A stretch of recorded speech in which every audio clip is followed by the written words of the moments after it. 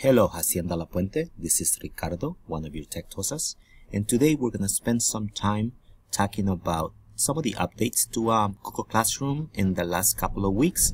The first one um, that I want to focus on is that now um, under the stream, this does not work for classwork, but under the stream, we have our move to the top back. So remember we used to have this move to the top um, button here. But now it's back. So if I was to press that I could automatically move things all the way to the top okay?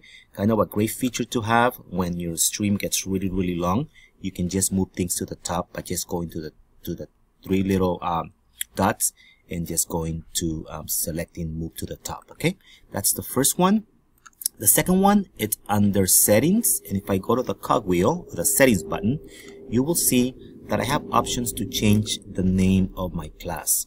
This is important, especially for um, us teachers that are creating classes directly from Aeries, because um, when you do that, Aeries just gives it a very generic name, Biology 1, right?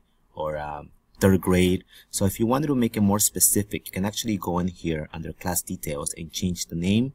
You can add a description, you can add a section, a room, So this gives you more control on the way your class looks. Um, notice that under the stream, I have a drop down arrow and if I click on it, I can see all the details that I wrote under my settings. Okay, so that's um, a new feature. Um, another feature under our uh, settings or cogwheel is that uh, if you remember before we had to give our student a code to join the class well because of our integration with Aeries that's not longer the case so you can actually disable this if you want to. So if you didn't if you didn't want to have the code um, so that students that are not in your class are joining by mistake you could disable that okay? The other one um, that you have is um, anytime that you create something on classwork assignments or links and so on and so on it automatically shows on the stream so um, over here you have the option to change that. If you wanted to, to hide the notifications for classwork, you could do that. If you wanted to attach everything details, the, the whole thing, you can have that there.